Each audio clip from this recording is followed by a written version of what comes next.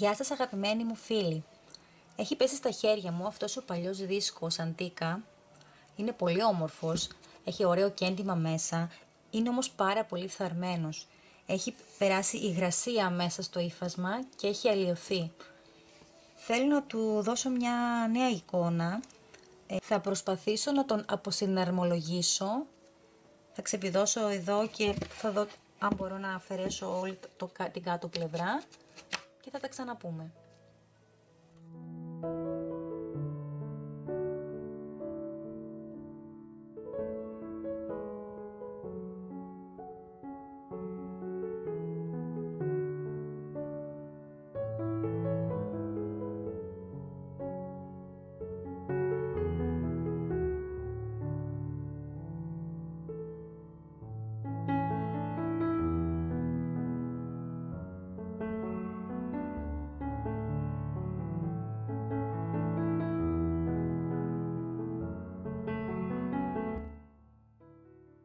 Θα δουλέψω από την αντίστροφη πλευρά, ανάποδα από το γυαλί. Οπότε ό,τι θα έκανα στο τέλος θα το κάνω τώρα στην αρχή. Ε, θα ξεκινήσω με μια παλαίωση που θα έκανα στο τέλος όταν θα τελείωνα το, το έργο μου. Θα κάνω μια παλαίωση με την απλή την, ε, την πατίνα, την ούμπρα, αυτή που έχουμε στο βαζάκι που είναι σαν πάστα. Απλά έτσι σε λίγα σημεία και έμφαση λίγο γύρω γύρω στο γυαλί.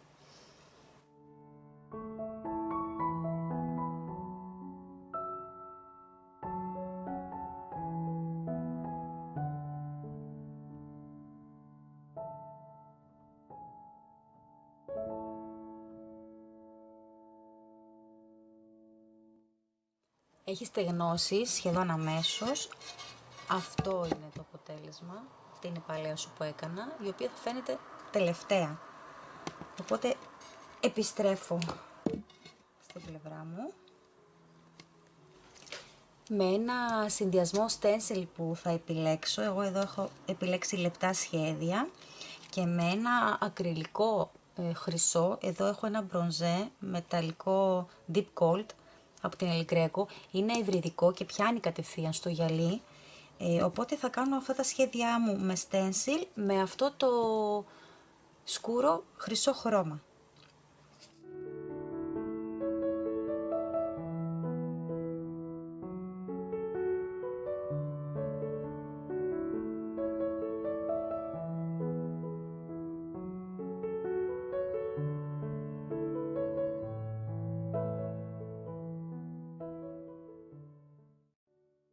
Όταν βάζω χρώμα πρέπει πολύ καλά να πιέζω το σφουγγαράκι μου να έχει ίση κατανομή το χρώμα και όχι αλλού λίγο αλλού πολύ γιατί μετά θα μου πει το χρώμα κάτω από το stencil και με λίγα λίγα μικρά βηματάκια λίγο χρώμα κάθε φορά. Καλύτερα να έρθω δύο φορές με λίγο λίγο χρώμα παρά μία φορά με πολύ εδώ θα με βοηθούσε αν είχα ένα καλό ρολάκι αλλά επειδή δεν έχω, προτίμησα αυτή τη λύση.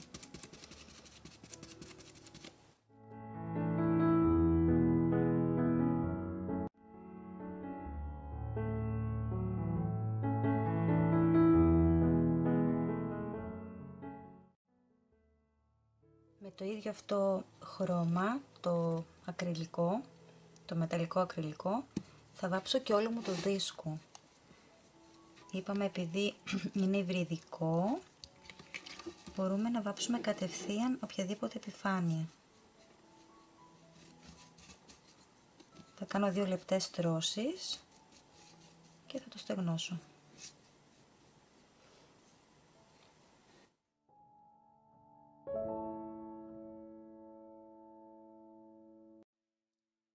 Θέλω τώρα να κάνω μια εφαρμογή φύλου χρυσού, ασημείου για την ακρίβεια.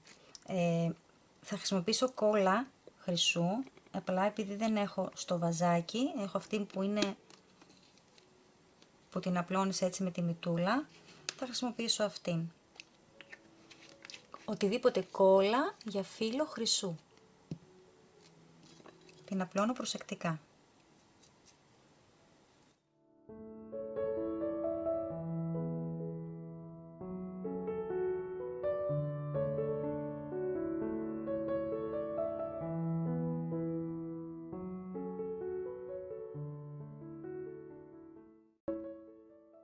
Έχω λοιπόν τώρα εδώ το φύλλο ασημιού, οπότε το τοποθετώ προσεκτικά.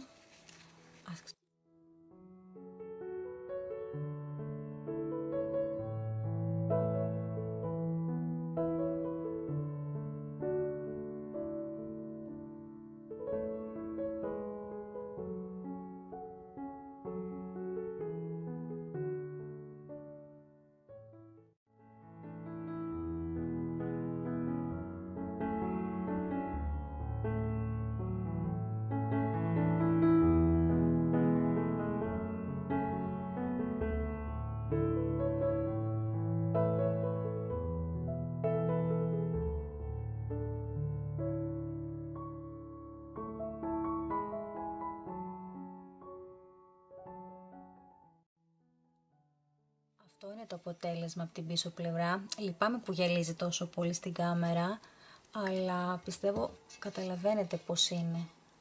Κάπως έτσι. Τώρα για να κάνω και μια έξτρα παλαίωση, σε μερικά σημεία έτσι θα το πιέσω λίγο να φύγει. Να, λίγο έτσι, δεν ξέρω, θα στο δείξω από κοντά. Για να φαίνεται και σαν φθαρμένο θέλω. θα σας το κάνω μια φωτογραφίουλα να σας το δείξω.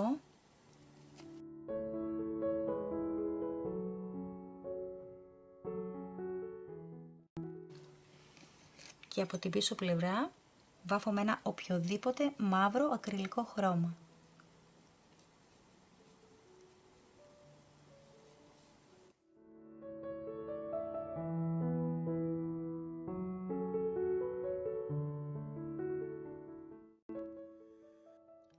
Τα χερουλάκια δεν είναι πολύ αλλοιωμένα, έχουν έτσι μία παλαίωση, οπότε το μόνο που θα κάνω είναι με λίγο από το χρυσό μου το χρώμα, επειδή είναι είπαμε βρυδικό και πιάνει κατευθείαν, θα κάνω λίγο έτσι τα ανάγλυφα. Εδώ λίγο. Αυτό.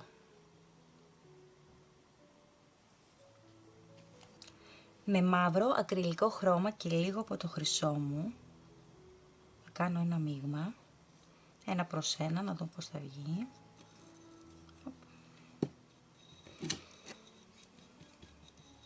Θέλω ένα μαύρο έτσι γκρι χρώμα. Αλλά προσθέτοντας το χρυσό θα πάρω ένα χρώμα α, μου έγινε καφετή σαν να έχει πάλι μια πέρλα μέσα. Ωραία και θα κάνω σκιάσεις και περισσότερο εδώ στα ανάγλυφα που έχει ο δίσκος. Θα απλώσω εδώ λίγο χρώμα. Θα σπάει μέσα στα σκαλίσματα καλά.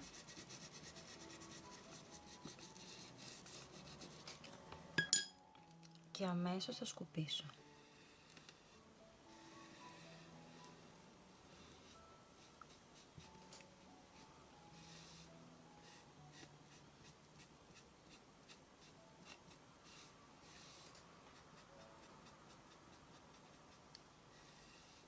Εδώ. Εδώ δεν υπάρχει ακόμη.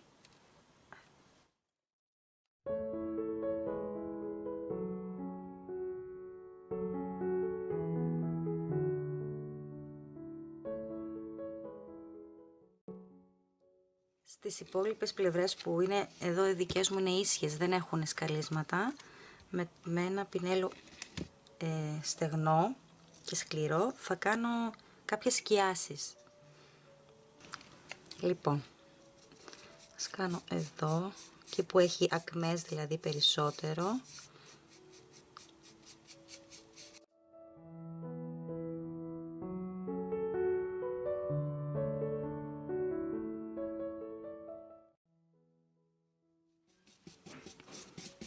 Σχεδόν δεν έχει μείνει χρώμα, έχει φύγει, οπότε δεν θέλω να κάνω έτσι γραμμές. Οπότε κάπως εδώ αν φαίνεται. Θα σας το δείξω μετά και στις φωτογραφίες, τις κοντινές.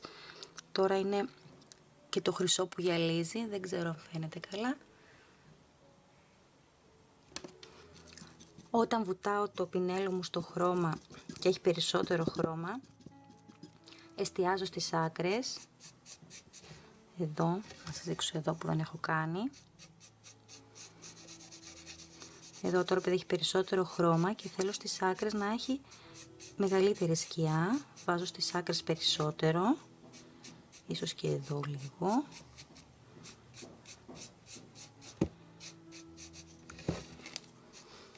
Και όταν δω ότι το πινέλο μου σχεδόν στεγνώνει και δεν έχει πολύ χρώμα, θα κάνω και την ευθεία πλευρά εδώ. Δεν θέλω έτσι έντονες γραμμές. Δεν ξέρω κατά πόσο φαίνεται δυστυχώς εδώ στη φτωχούλα μου την κάμερα.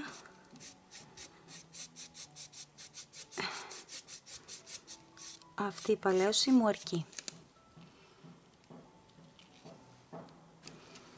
Προτιμάω να βάφω περισσότερες ε, λεπτές στρώσεις έτσι να σκιάζω με, με σχεδόν καθόλου χρώμα, να το κάνω πολλές φορές παρά μια φορά να βουτήξω το, χρώμα, το πινέλο μου στο χρώμα και να δώσω χρώμα γιατί τότε δεν θα κάνω αυτή τη θαμπάδα εδώ είμαι τουλάχιστον 5 ε, λεπτά 10 και κάνω με πολύ λίγο χρώμα έτσι θαμπάδα Λοιπόν, σας λέω πάλι θα σου δείξω σε κοντινές αργότερα φωτογραφίες γιατί δεν ξέρω κατά πόσο φαίνεται αυτό. Επειδή γυαλίζει το χρυσό. Με ένα πιο ανοιχτό χρυσό, αρκετά ανοιχτό, αυτό είναι το 24 καράτια χρυσό της El Greco, ε, έκανα λίγο τα ανάγλυφα για να κάνω μια έξτρα διαφορά. Έτσι λίγο εδώ επάνω γιατί θεωρώ ότι κάνει κάποια έτσι μια αλλαγή, μια διαφορά. Θα σας το δείξω τώρα και στις ε, φωτογραφίες είπαμε. Δεν δείχνει και τα χερουλάκια έτσι λίγο. Κάνει έτσι ένα βασιλικό χρυσό, μια διαφορά και μου άρεσε αρκετά. Με ό,τι χρυσό πιο ανοιχτό από τις βάσεις έχετε, μπορεί να γίνει και αυτό. Και στο τέλος περνάμε ένα χέρι βερνίκι. Τονίζει περισσότερο ε, το μαύρο, έτσι δίνει πιο ένταση όταν ε, γυαλίζει με το βερνίκι. Αυτό. Και επειδή μου άρεσε αυτή η λάμψη σε αυτό το χρυσό, με πολύ λίγο χρυσό, ακόμη με πιο μεγάλο μέγεθος πινέλο, όπως έκανα αυτά εδώ, θα κάνω και ελάχιστα λίγο εδώ στο κέντρο. Έχει πολύ λαμπύρισμα αυτό το χρώμα, μου άρεσε. Λίγο, πολύ λίγο. Τόσο όσο. Να δώσω έτσι μια έξτρα λάμψη. Εδώ στο κέντρο. Θα κρατήσω τα μαύρα που έχω κάνει.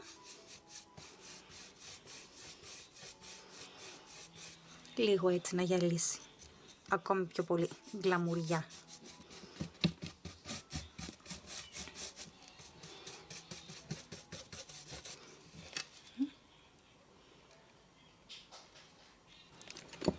Αυτή είναι λοιπόν η τελική μορφή που θα πάρει το δισκάκι μου. Θα, κάνω, θα, θα το κολλήσω με σιλικόνη. Γύρω γύρω εδώ σιλικόνη. Και θα πρέπει να σταθεί 24 ώρες, αλλά η τελική μορφή του θα είναι αυτή. Ευχαριστώ πάρα πολύ που με παρακολουθήσατε. Γραφτείτε στο κανάλι μου για να βλέπετε όλα μου τα νέα βίντεο. Σας χαιρετώ.